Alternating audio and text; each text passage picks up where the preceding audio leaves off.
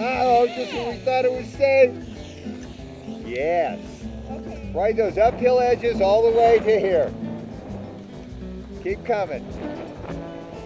Keep forward. Good. Look at the difference. Look, now at, at least, and that is the reason on your left turns that you're favoring the uphill ski. You're doing great with the uphill ski and you're scar oh. you're Oh. scarving I see with it. your look at my tracks. Yeah, they're like completely even. Even the whole way, railroad tracks. Yeah. Okay, turn around the other way. Okay, come on down. And stay in your athletic stance and look downhill. That's it. Much better. Look, look. Improvement already. Look at that. Pretty clean, pretty clean. Okay, let's do it again. And this time like 45, 50 degrees down the hill.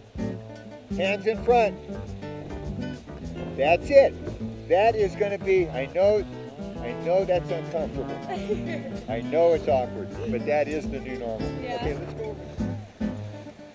It's gonna, see, it's gonna force you to be parallel. You cannot do this in a wedge. You have to use both your complementary edges. Let's do it again.